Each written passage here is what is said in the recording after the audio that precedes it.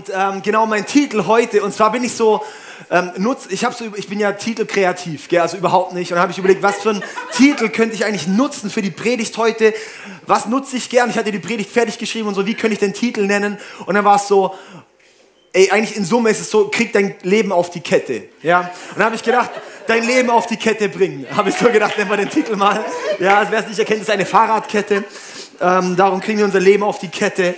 Und ähm, ich, ich, ich sehe so, ähm, in unserer heutigen Gesellschaft, oder, da haben wir so eine, so, ich weiß nicht, wenn du in Social Media unterwegs bist und so weiter, ähm, überall siehst du so diese Selbstverwirklichung, oder? So überall diese Trends, so the best version of yourself. Kennt ihr das auch? So ein bisschen so, hey, das Beste von mir und meiner Seite und irgendwie so ich im Mittelpunkt und es geht alles in meinem Leben um mich und hey, be real, sei du selbst und es witzig ist, keiner kriegt es halt hin, oder? ähm, ja, so, so, so je mehr sie im Instagram sind, umso unrealer sind sie ja, oder? Weil sie irgendwie nur das Geile posten, so, wow, mein Leben ist so real, hier guck mal mein Essen, voll real mein Essen, wo ich denke, du hast zehn Minuten gebraucht, um das scheiß Essen so hinrichten, ja, dass du es fotografieren kannst, so unreal, ja? Und ähm, ist ja egal, also so irgendwie eine, keiner tut's, und ähm, keine Ahnung, dann schauen wir auch mal so dieser Work-Life-Balance-Wahn, oder wo alle so auf diesem Trip sind, keine Ahnung, jeden Fünften, den du fragst, der muss irgendwo nach Indien auf irgendeine spirituelle Reise, dass er endlich seine meditative Mitte findet. Ja, kennt ihr das auch, oder so ein bisschen? Oder dann denkt man, oh, vielleicht kriegt man das ja anders hin. Vielleicht reicht ja, wenn ich durchs Einkaufszentrum laufe und einen Buddha kaufe. Ja, vielleicht bringt das mir irgendwie eine Mitte in meine Wohnung und äh, irgendwie keiner kriegt es richtig hin. Und das Spannende ist ja, je mehr das Ganze kommt, umso höher wird die ganze Burnout und Depressionsrate und psychische Krankheiten und so. Ja, also irgendwie haut es nicht so ganz hin, oder? Und, ähm, und es ist äh, schon ein bisschen eine Herausforderung. Auch diese ganze Selbstverwirklichung. Ein Ding, das hat vielleicht nicht so krass viel mit dem Thema zu tun, aber wo ich echt Pickel kriege, äh, wenn wir nach, nach New York schauen, oder? Äh, dass da jetzt äh, Abtreibung bis zum letzten Tag vor der Geburt erlaubt wurde. Und das ist natürlich super krank, ja, wo ich so denke, ey, also das ist einfach, äh, also, und, und es wird gefeiert als Freiheitsrechte der Frau. Unter diesem Motto wird es so, die selbst, dass die Frau sich auch selbst verwirklichen kann, dass sie Herr über ihren eigenen Körper ist. Darum kann sie das Kind bis zum Tag vor der Geburt abtreiben. Das musst du dir mal vorstellen, ist einfach nur krank. Ja, und, ähm, und äh, also ich habe es ja erlebt, als das Kind da rauskam. Das war nicht anders am Tag, als es rauskam, als am Tag, wo es noch drin war. Ja, und, äh, und, und das ist einfach nur Mord mit der mit dem Anliegen einfach Selbstverwirklichung. Ich, ich, mh, mm, ich Herr über mein eigenes Ding und keiner kriegt es auf die Reihe. Ja, und, und das ist so eine Sache, die ich so beobachte. Und ich sag so, hey, da haben wir aber als Christen eine Antwort. Ja, das ist unser Jesus. Ja, ähm, das hört sich jetzt fromm an, weil eigentlich ist es in Praxis gar nicht so. Ja, ähm, weil, weil theoretisch ja, aber im Endeffekt, wenn wir auch mal so jetzt mal uns vielleicht die auch die Christen sind hier drin fragen, ist eigentlich dein Glaubensleben von sehr viel Frust geprägt. Ja, unser Leben, unser Glaubensleben besteht eigentlich sehr, sehr, sehr viel aus Frust darüber, dass ich eigentlich das, was ich erreichen möchte, nicht erreiche. Ich möchte eigentlich mehr beten, ich möchte mehr Bibel lesen, aber ich schaff's einfach nicht. Und dann sind wir frustriert und dann, oh, habe ich wieder nicht gedacht, dann lasse ich es lieber ganz und dann denke ich so, oh, vielleicht will Gott gar nicht so mit mir oder dann gibt es so die klassischen Dinge oder so, oh, meine Sünden, ja, so diese, diese Fehler, diese Dinge, die ich immer wieder tue und ich weiß, es gefällt Gott nicht und, und je mehr ich das mache und es nicht auf die Reihe kriege, umso mehr haue ich mich selber in die Pfanne und ziehe mich dann wieder vor Gott zurück und eigentlich ist unsere ganze, eigentlich alle Downphase in unserem Glaubensleben ist im Endeffekt nur ein Frust über unsere Unfähigkeit, diszipliniert zu sein. Boah, hei, hei. Jetzt muss ich mal Luft holen, ey. Ah. Ja, und, ähm, und, und ich sehe das, das ist sozusagen ein Problem, dass wir eigentlich unsere, unsere, unsere Ziele eigentlich nicht erreichen, dass wir eigentlich dort unser Leben nicht auf die Kette kriegen. Ja, das heißt, das Thema ist jetzt für dich, wenn du nichts mit dem Glauben zu tun hast oder wenn du schon ewig langer Christ bist, ist dieses Thema heute für dich der Hammer. Ja, und zwar ist es vielleicht nicht so dieses klassisch geistliche Thema. Ich rede jetzt nicht über die krass äh, klassisch wo du so denkst, das war voll das geistliche Thema. Aber ich sag eins, dein Leben auf die Kette zu kriegen, ist sowas von geistlich. Warum? Weil dein Leben, das du hier lebst, bestimmt deine Ewigkeit. Ich möchte echt ermutigen, mein halbes Skript ist rot und rot sind immer Golden Nuggets Sätze. Ja?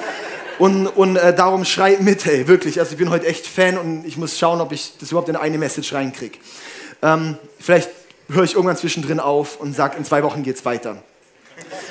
Ähm, und das ist eben, wo ich so sehe, hey, unsere, dein, deine Zeit, wie du dein Leben gestaltest, was für eine Frucht aus deinem Leben kommt, das bestimmt den Lohn im Himmel. Das heißt nicht, dass du gerecht gesprochen wirst vor Gott durch deine Werke, durch das, was du tust. Aber es gibt eben zum einen dieses, hey, bist du mit Jesus oder bist du nicht mit Jesus? Und das entscheidet, ob du in Himmel oder Hölle kommst, sage ich mal so ganz klar. Ja? Wenn du mit Jesus, wenn du Jesus dein Leben gibst, dann lebst du mit Gott. Und dann wirst du auch nach dem Tod weiter mit Gott leben. Das ist eine ziemlich gute Botschaft. Wenn du hier nicht mit Jesus eine Beziehung lebst, wenn du ihm dein Leben nicht gegeben hast, wirst du auch später nicht zu Gott kommen. Du wirst in die Hölle gehen. Und es ist kein schöner Ort, weil es die Abwesenheit Gottes, das heißt Abwesenheit alles Guten und aller Liebe.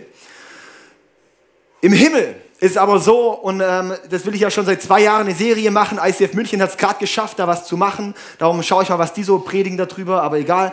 Ähm, und ähm, und, und äh, wo es eigentlich, wo wir die Bibel voll haben von im Himmel ist nicht einfach nur Himmel oder nicht Himmel, sondern im Himmel gibt es ganz viele Stufen.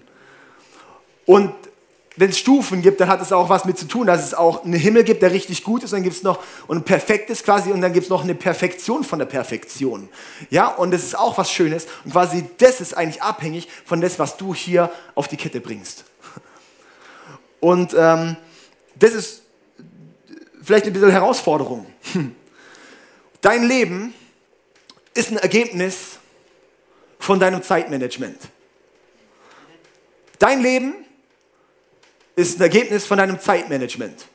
Ich möchte euch hier ein paar Bilder zeigen und möchte euch fragen, was haben diese Menschen alle gemeinsam? Können wir gerade mal hier ein paar Bilder durchlaufen lassen. Hier die ähm, Arbeiter, was haben wir dann hier? Mutter und Kind. Dann haben wir hier so Business-Leute. Dann haben wir hier einen Obdachlosen. Dann haben wir ähm, ja, eine äh, Hausfrau von einer Riesenfamilie äh, und dann äh, Kinder, Jugendliche, was auch immer. Was haben die alle gemeinsam? Die haben alle 24 Stunden am Tag. Alle haben 24 Stunden am Tag. Wo sie heute stehen, ist ein Ergebnis von, wie sie ihre Zeit gestaltet haben. Und es ist eine ziemliche Challenge. Das heißt, da, wo du heute stehst, ist ein Ergebnis davon, wie du dein Leben gestaltet hast. Jetzt ist es das erste Zwölftel vom Jahr 2019 schon rum, oder? Das erste Zwölftel, das ist schon ein bisschen Zeit, der erste Monat. Schau mal zurück, was hast du diesen Monat gemacht, was hast du diesen Monat erreicht, was hast du diesen Monat verändert und wo stehst du heute? Wo du heute stehst, ist ein Ergebnis von dem, wie du den letzten Monat gelebt hast. Ob du gefrustet bist drüber, ob du begeistert bist drüber und es definiert auch, wie du jetzt vorplanst, wie es weitergeht bei dir. Das heißt, alle Menschen, ob Millionär oder Bettler, arm, reich, schwarz, weiß, was auch immer, haben alle dieselbe Zeit. Und wenn ich zum Beispiel mal anschaue, wenn du zwei Stunden am Tag fernsiehst oder am Instagram oder Social Media sitzt oder ähm, was auch immer, Nachrichten schaust oder was hat man noch so für Ideen? Ähm, äh, ja, zocken oder was auch immer für Beschäftigungen. Zwei Stunden am Tag ist nach einem Jahr, hättest du, wenn du jeden Tag zwei Stunden für sowas Zeit verbringst, hättest du in einem Jahr einen Monat dafür Zeit verbracht. Oder zwei Stunden ist ein Zwölftel vom Tag, oder 24 Stunden durch zwei, ein Zwölftel, aufs Jahr ein Zwölftel. Das heißt, wenn du nur zwei Stunden für eine Sache am Tag verbringst, hast du fast deinen Zehnten deiner Zeit für etwas investiert. Und wo dein Zehnter reingeht, geht dein Herz rein. Das heißt, wenn ein Zehnter deiner Zeit ins Zocken, ins Fernschauen, in whatever reingeht, ist dort dein Herz. Und du siehst auch, was für ein Resultat rauskommt. Wie hättest du die Zeit anders gestalten können? was wäre, wenn du zwei Stunden am Tag in Weiterbildung gesteckt hättest. Zwei Stunden am Tag ins Bibellesen, zwei Stunden am Tag in Menschen was Gutes zu tun. Wo würdest du heute stehen? Unglaublich. Diese Frage einfach ein paar Gedankenanstöße. Ja, das heißt, dein Leben ist deine Zeit. Und alles, was deine Zeit einnimmt, nimmt deine Zeit. Verstanden? Alles, was deine Zeit einnimmt, nimmt deine Zeit. Darum frag dich, was nimmt deine Zeit ein? Und das ist heute mein erster Punkt. Ich habe drei Punkte. Der erste Punkt ist, werde Herr deiner Zeit. Werde Herr deiner Zeit. Ja, Gott soll doch der Herr meiner Zeit sein. Nee, Gott sagt, sei du Herr über deiner Zeit. Ja, so, wir schieben als Christen ganz gern so die Verantwortung so auf Gott ab. Oh Gott, mach halt du. Wo Gott sagt, nee, mach halt du. Ja, oh Gott, hey, helf mir doch da. Nee, hey, Fang mal selber an, die Glotze auszumachen. Oh Gott, ich würde so gern mehr über dich wissen. Wie viel Zeit verbringst du mit mir? Und ich habe da einen Bibelvers, den finde ich einfach bombastisch. In Epheser 5, Vers 14 steht, wach auf, der du schläfst, und steh auf von den Toten, so wird dich Christus erleuchten. So seht nun sorgfältig darauf, wie ihr euer Leben führt, nicht als Unweise, sondern als Weise und kauf die Zeit aus, denn die Tage sind böse. Die arbeiten gegen dich. Weil das Einzige, was Zeit nicht kann, ist zurückgehen. Das heißt, das ist der erste Punkt, ist so, wach auf, oder? Wach auf. Warum? Weil viele schlafen. Ich glaube, ganz viele sind hier und die pennen einfach. Die schlafen durch ihr Leben. Wach auf. Wach auf. Wach auf und erkenn, werde Herr über deine Zeit. Wie hast du dich entwickelt im letzten Monat? Im letzten Monat solltest du schon Entwicklung sehen. Wenn nicht, Stillstand ist Rückschritt. Wie kriegst du dein Leben auf die Kette? Wach auf. Werd dir bewusst, hey, fang selber an, die Gewohnheiten zu bauen neu. Und dann der nächste Schritt ist ja, steh auf. Erst wach auf, der du schläfst.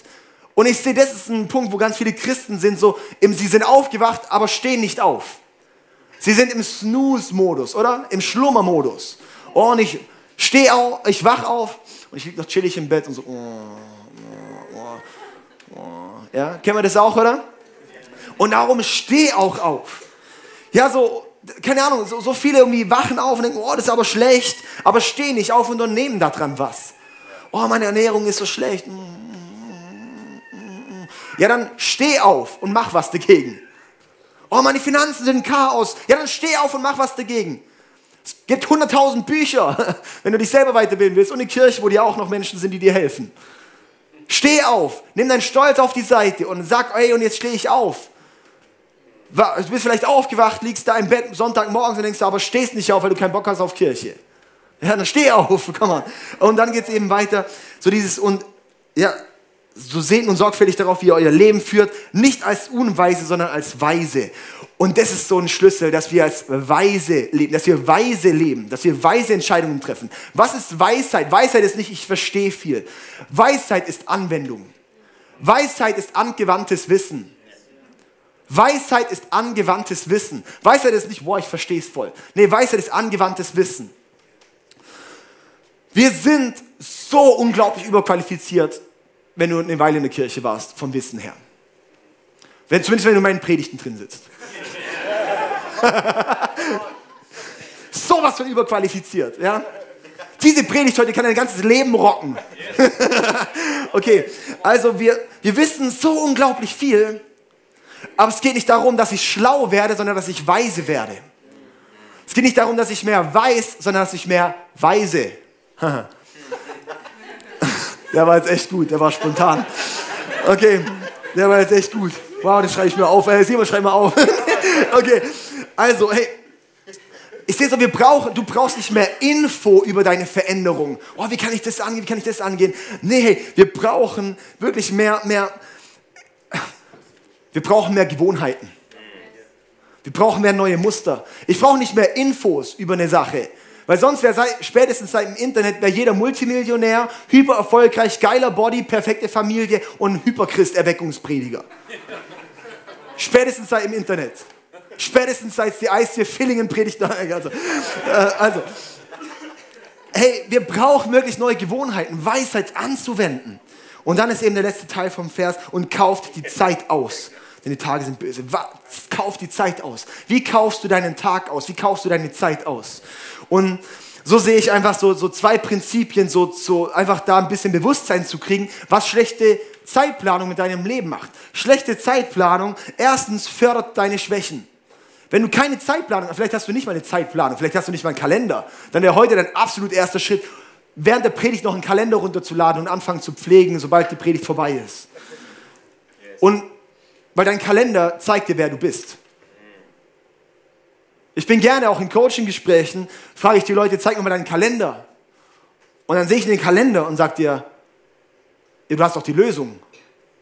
Das dein Kalender ist die Lösung. Schreib's rein, setze Priorität rein. Oh, ich schaff's irgendwie nicht so. Ja, dann schreib's dir rein, dann wirst du verpflichtet dafür, das zu machen. Es fördert deine Schwächen. Ja, weil unkontrollierte Zeit fließt immer in deine Schwächen. Unkontrollierte Zeit fließt immer in unsere Schwächen. Unsere Stärken fokussieren wir, aber unkontrollierte Zeit, wenn ich keine Zeitplanung habe, wenn ich eine schlechte Zeitplanung habe, fließt immer in deine Schwächen. Ja, also dann geht es ins, ins Netflix, ins, ins whatever, keine Ahnung, für Sachen. Das ist immer das dumme, selbe Beispiel, ist ja auch egal, ist ja auch nicht irgendwie, dass Netflix immer böse ist. Ich gucke ja auch gerne mal Filme, ja, ist, so ist ja nicht. Also, und wenn ich das, also, dann, und so ein Prinzip ist dort auch so, Ja zum einen ist immer Nein zum anderen. Ja zu eins, Ja zu dieser Sache ist immer Nein zu der anderen Sache.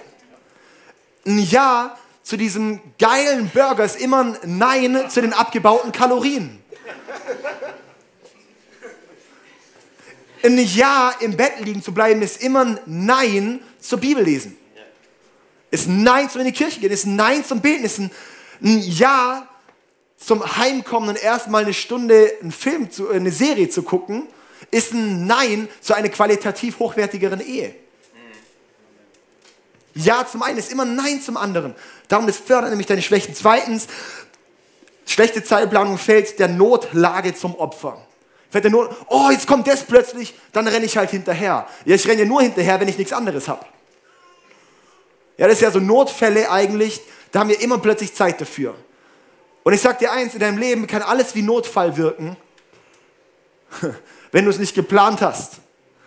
Und wenn du es geplant hast, dann kannst du auch sagen, nee, geht nicht. Ja, so ich bin leidenschaftlich Pastor, ich liebe Menschen zu unterstützen, zu helfen, aber ich kriege auch manchmal Anrufe und so, ey David, wir müssen unbedingt sofort treffen. Und ich so, okay, was gibt's? Ja, dies und dies und das Problem. Und dann frage ich so, okay, seit wann hast du das Problem? Ja, schon länger, aber jetzt ist es so voll krass geworden, bewusst, gerade eben. Ich so, okay, dann ist es ja schon länger. Das heißt, hey, ich habe gerade meine Zeit geplant. Nicht jetzt, ich falle nicht der Notlage zum Opfer. Wir können mal anders treffen. Ich kann nicht an jemanden vermitteln zum Treffen. Warum? Weil das Problem von der Person wichtig ist. Aber wenn ich nichts mehr geben kann, wenn ich kaputt gehe, dann ist auch keinem geholfen, oder?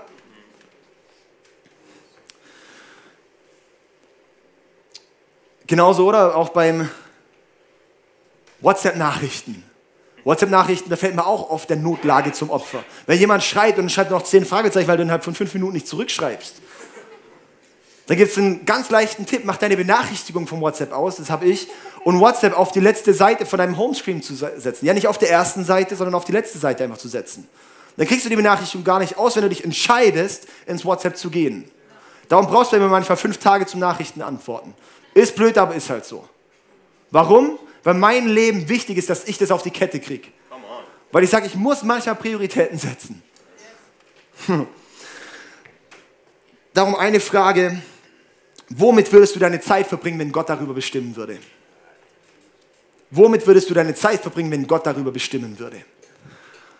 Das ist eine Frage zum Mitnehmen. Auf jeden Fall, der Kalender ist das wichtigste Werkzeug wenn es darum geht, der Mensch zu werden, der du werden möchtest. Das hat Alessio letzte Woche so cool gesagt, würde ich auch dieses, es geht nicht darum, was möchtest du erreichen, sondern wer möchtest du werden. Und diese Frage hat ganz viel von meinen Lebensprinzipien verändert. Wo ich sagte, nicht Ziele, Ziele, Ziele, weil sonst laufe ich aufs Ziel hin und wenn ich es erreicht habe, falle ich wieder in alte Gewohnheiten. Mein Ziel ist, jemand anderes zu werden, mich zu verändern, zu wachsen. Und das bedeutet dann auch, dann bleibe ich auch drin, dann bleibe ich auch dran. Darum planst du den Kalender ein. Und ich sage dir auch manchmal, wenn du was Neues startest, dann heißt es ein bisschen radikalere Zeitplanung. Ich habe zum Beispiel, wenn ich, ich habe immer wieder Phasen, wo ich in meinem Leben wieder neu, neue Dinge so sortiere. Dann nehme ich mein Handy und ich schreibe da jedes Kackding drauf. Ja, ich habe da, ich habe da wirklich, ich habe das Essen eingetragen, wann ich esse, weil ich merke, manchmal vergesse ich das Essen einzutragen und dann merke ich plötzlich am Tag, oh, ich habe vergessen, mir Essen einzuplanen und dann fehlt mir plötzlich am Ende die Stunde vom Tag und bin voll am Ende am Abend. Das ist einfach nicht gesund. Dann trage ich mir dann sowas ein. Ich trage mir ein, wann habe ich Zeit mit Gott. Ich trage mir ein, wann gehe ich Sport machen. 16 Uhr, fast an jedem Tag, bimmelt mein Handy, eine Stunde Sport. Wie kannst du dir den Luxus nehmen? Ich nehme mir ihn einfach. Weil wir haben keine Zeit, wir nehmen sie uns.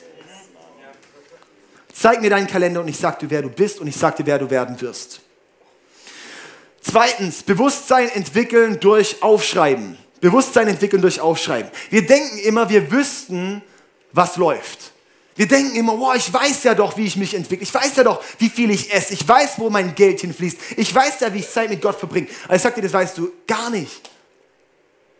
Das weißt du überhaupt nicht. Ich habe Ende letzten Jahres ähm, Kontakt aufgenommen mit, oder genau, es ist ein, Bekannter aus Amerika, quasi ein Fitnesscoach und Model und habe ihm geschrieben und so, hey, ich wollte ein bisschen Coaching, so einfach so im Thema auch so Ernährung und sowas. Und er, und, und hättest du mal Termin Zeit? Und er so, ja, aber fotografiere mir einen Monat mal alles ab, was du zu dir nimmst. Und ich sage, das ist doch kein Coaching, ich will jetzt mal mit dir reden und wissen, was ich ändern soll. Und er so, nee, fang einfach mal an, jeden Tag jedes Ding, das du dir in den Mund stopfst, abzufotografieren und mir zu schicken. Und er hat die Nachricht nicht mal gelesen. Und dann habe ich ihn irgendwann gefragt, so, ja, warum mache ich denn das? Und er so, ja, weil du bewusst werden solltest darüber, was du zu dir nimmst. Und das Witzige war, irgendwann hatte ich einfach keinen Bock mehr, Dinge zu essen, weil ich keinen Bock hatte, jedes Mal mein Handy rauszuholen. ja, hier eine Schokolade, hier ein Gummibär, mm, mm. Und das Witzige ist, und was er als einziges Ding gesagt hat, was ich machen soll, hat er gesagt, jeden Morgen, wenn du aufstehst, press eine Zitrone aus. Und hat mir dann erklärt, warum und dass ich sie trinken soll. Und ich so, okay, mache ich halt mal. Ja. Habe ich angefangen, jeden Morgen nach dem Duschen Zitrone trinken. Und habe mir dann noch erklärt, warum Vitamine, es bringt den Stoffwechsel in Gang, die, der ganze Wasserhaushalt im Körper wird dadurch reguliert, der Körper wird basisch eingestellt und so weiter und so fort. Ist cool, ja. Das habe ich angefangen zu machen. Und das Witzige ist, diese Gewohnheit hat bei mir dann etabliert, dass ich einen viel gesünderen Lebensstil bekomme. Dass ich dann schon meine erste Gewohnheit am Morgen ist, auf Gesundheit zu programmieren. Das ist einfach eine Gewohnheit, die ich mache. Und es ist einfach quasi durch ein Aufschreiben gewesen. Und dann hat er mir irgendwann gesagt, ja, eigentlich ist es nur ein Trick, dass du anfängst, über neue Gewohnheiten, über das Essen nachzudenken, dass ich das direkt am Morgen mit dir mache. Und ich so, ja, aber es ist trotzdem geil, mache ich immer noch. Weil es ja wirklich gesund ist und wirklich auch stimmt, die Sachen.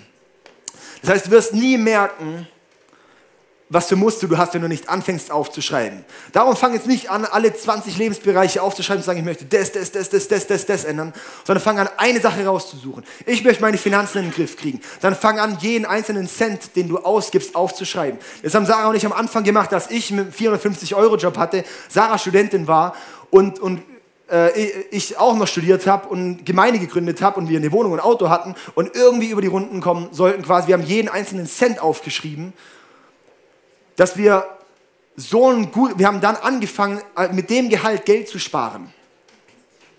Hm. Okay, dann hat Sarah ein Stipendium gekriegt. Das ist, dann Dinge hat, haben sich entwickelt, aber wir haben von, im Vergleich so wenig gelebt, aber wir haben Bewusstsein gehabt und jeder Cent bewusst gehabt, wo geht was rein. Wir hatten Bewusstsein und dann könnten wir Herr über die Sache werden.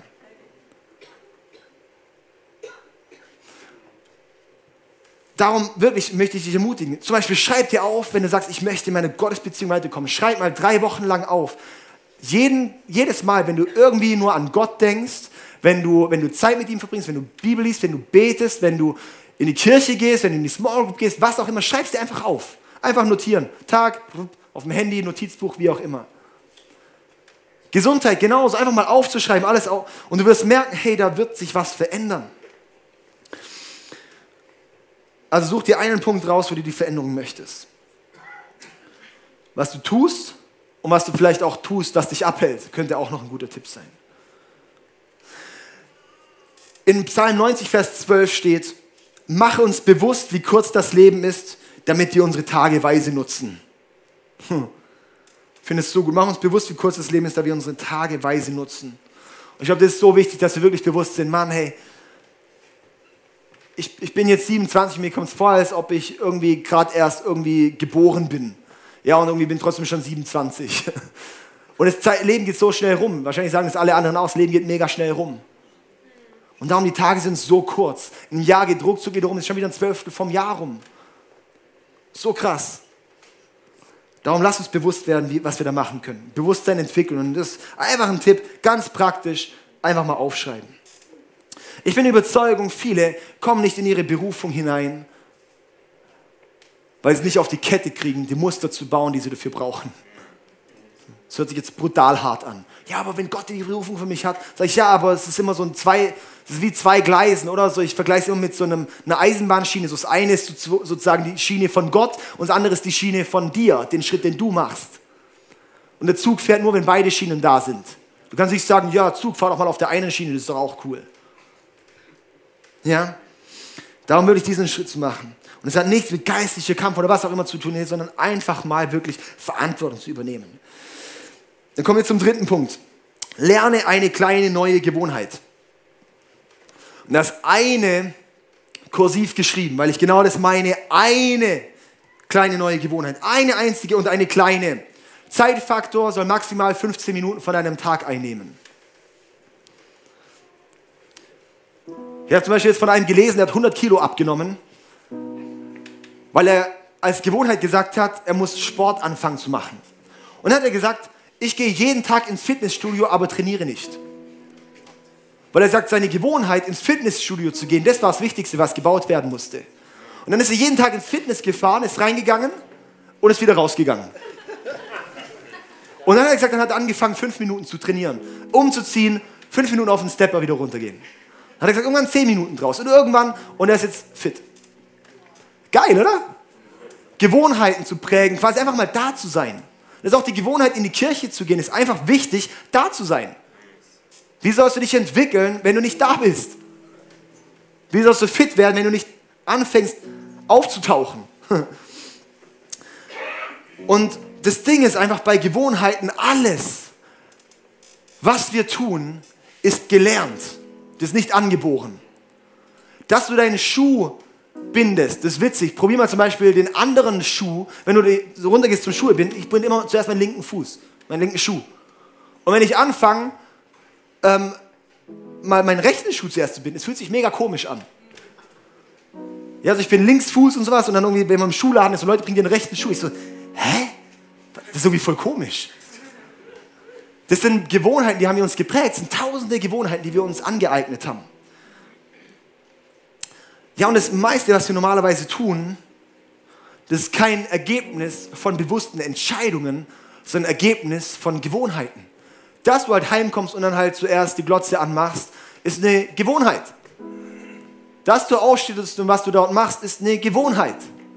Und es prägst du mit der Zeit und je mehr du diese Gewohnheit, dieses Verhaltensmuster lebst, umso mehr wird es eine Gewohnheit. Da werde ich wahrscheinlich in zwei Wochen drauf gehen, wie präge ich aktiv Gewohnheiten und wie breche ich aktiv Gewohnheiten. Ja? Boah, ist ein cooler Titel. Wie präge und breche ich Gewohnheiten. Das hört sich gut an. Ja? Den könnte ich nehmen. So, äh, okay, also. Ähm, eine echte Veränderung kommt, wenn es eine Routine wird. Und ich möchte ein kleines Beispiel nennen, so, oder eine kleine Geschichte. Das Mann, der sitzt auf dem Pferd. Oder? Und der, und der galoppiert richtig schnell und, und dann fragt er dann, wow, wo muss es so schnell hin? Und hat keine Ahnung, fragt das Pferd.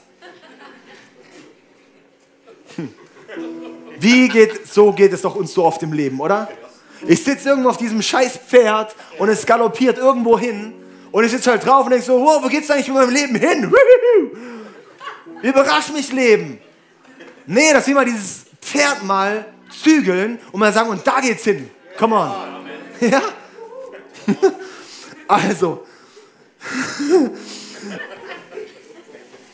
Da noch ein guter Satz, du bekommst, was du wiederholst.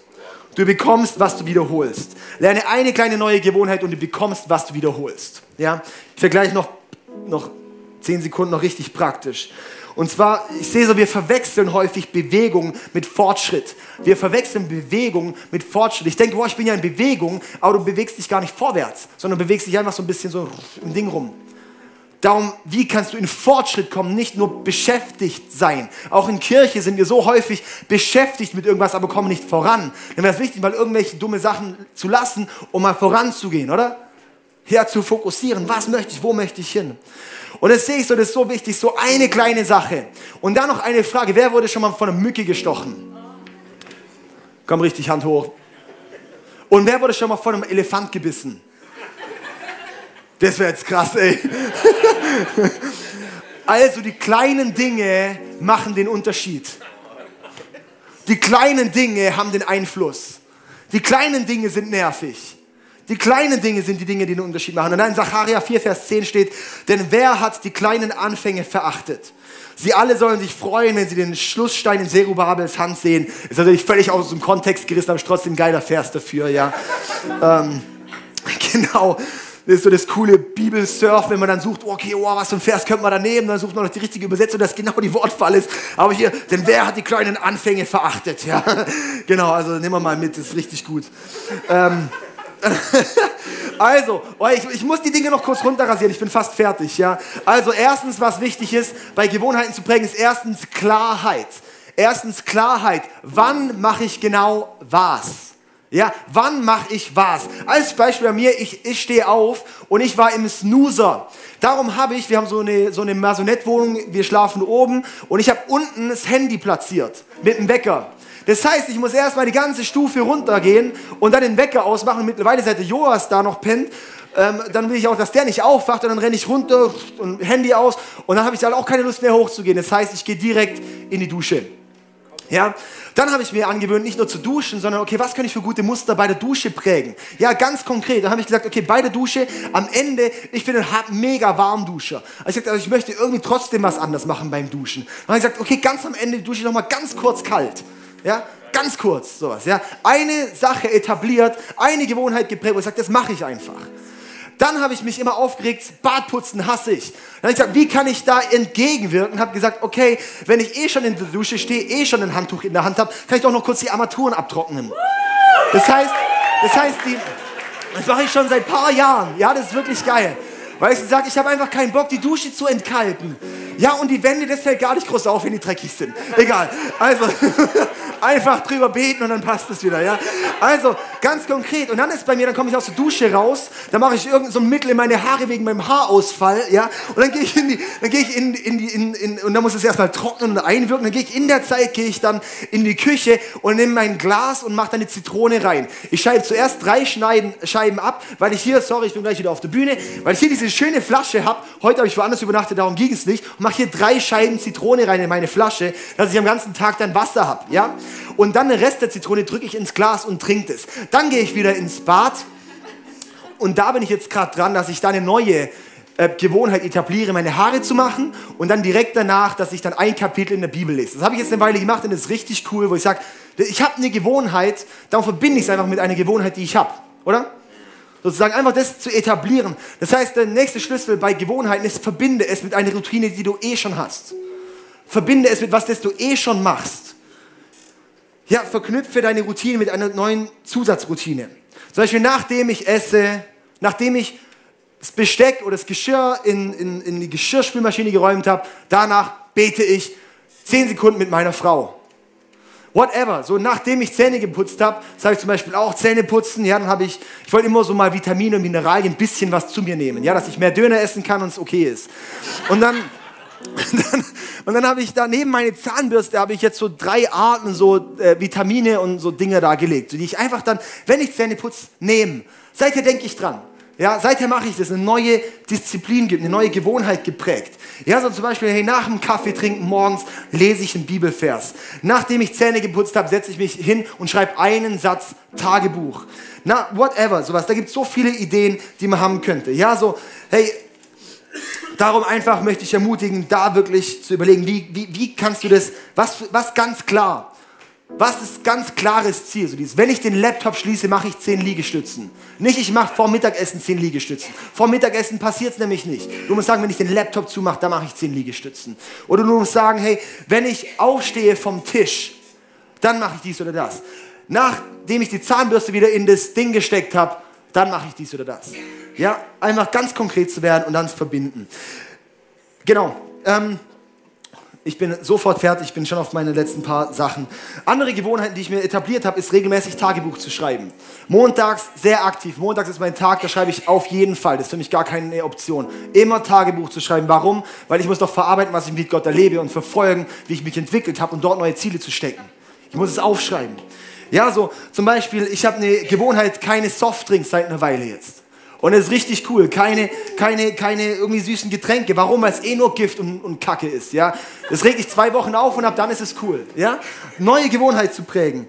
Eine Gewohnheit, meinen Zehnten in die Kirche zu spenden. Ist eine Gewohnheit. Warum? Für meine Finanzen. Ja, eine Gewohnheit ist finanziell Rücklagen zu bilden. Ja, so, wir haben seit Sarah und ich uns noch wieder neu fokussiert haben, Dinge aufzuschreiben. Wir haben, wir haben so einen Finanzcheckup so vor einem Jahr gemacht und haben alles untersucht und aufgeschrieben nochmal, so was wir wie, wo, wo ausgeben. Und seit wir das machen, haben wir gesagt, okay, wir haben eine riesen Schwarzzahl im Monat, wo quasi ähm, irgendwo ausgegeben wird, wo wir nicht im Griff haben. Die wollen wir in den Griff kriegen. Und seit wir das machen, sparen wir 500 Euro mehr Ausgaben, als wir vorher gemacht haben. Einfach durchs Aufschreiben, durchs genau beobachten, durch genau das. Wenn du sagst, ich habe nicht genug Geld, ich komme nicht über die Runden, dann schreib's auf. Du kommst auch mit fast nichts hin. Ja? Also wirklich, hey, ganz konkret zu werden, ganz neue Gewohnheiten zu prägen. Ja, so eine weitere Gewohnheit ist, abends fängt der Morgen an. Dein Morgen fängt nicht am Morgen an, sondern das hebräische Denken ist, der Abend fängt, ist der Anfang vom Morgen. Abends fängt der Tag schon an. Das heißt, ins Bett gehen, eine Schlafenszeit ist Vorbereitung für deinen Tag. Das heißt nicht zu sagen, boah, ich bin so cool, ich komme mit so wenig Schlaf klar, kommst du nicht. 4% der Menschen kommen nur mit weniger Schlaf aus. Ja? Also egal. Priorität, immer in die Kirche zu gehen. Bei mir eine Gewohnheit, ein englisches Buch pro Monat. Weitere Tools, die ich mir etabliert habe. Mein Homescreen ist sauber, hat nichts mit irgendwelchen Messenger-Sachen zu tun. Mein Homescreen ist so Sachen hier auf dem Handy wie Bibel-App, wie, äh, keine Ahnung, äh, hier Podcast-App, wie meine Notizen, wie Fotos und so weiter und so fort. Warum? Weil ich mich nicht ablenken lassen möchte, weil ich habe die Gewohnheit, mein Handy ständig zu entsperren am Tag. Und dann gucke ich drauf und denke, boah, mega langweilig und mach's wieder aus.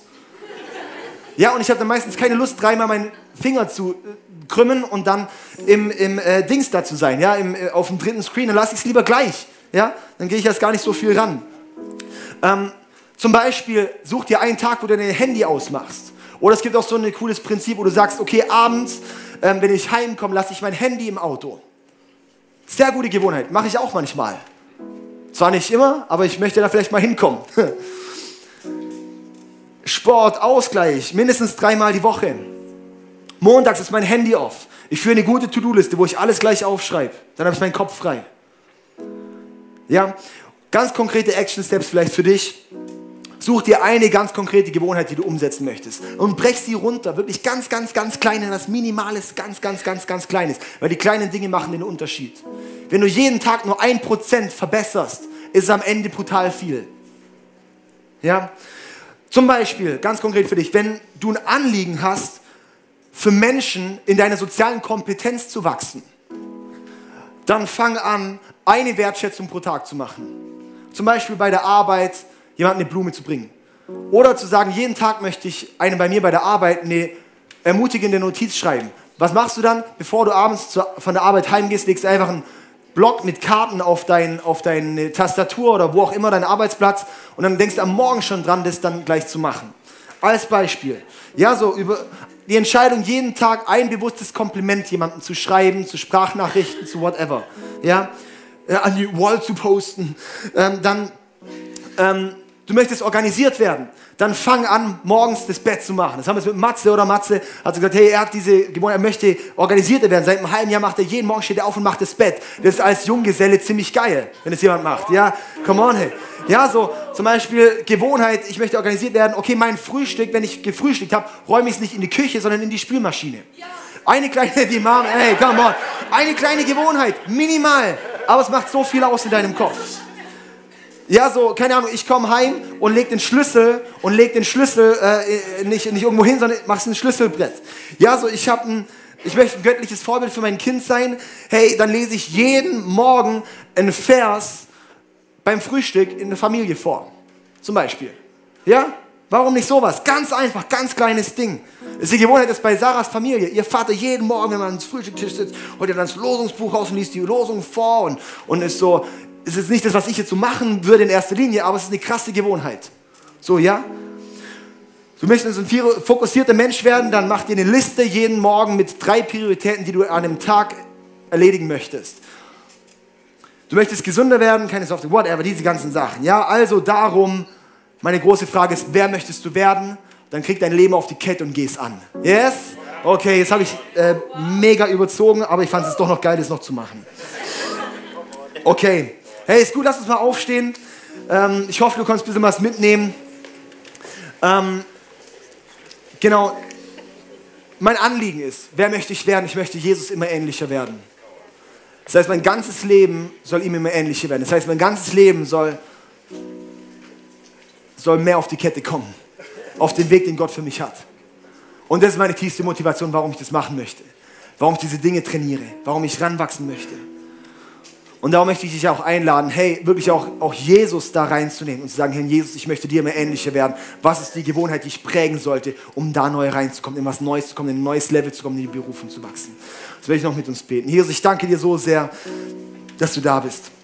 Heiliger Geist, ich lade dich ein, dass du jetzt kommst und dass du jeden Einzelnen einfach berührst und dass du mit deiner Liebe auf jeden Einzelnen einfach kommst. Ja. Und ich bete, dass wir die Verantwortung nicht abschieben auf dich, sondern dass wir sie annehmen für unser Leben. Vater, ich danke dir, dass du uns jetzt den Fokus schenkst, wirklich diesen Schritt zu gehen. In Jesu Namen. Amen.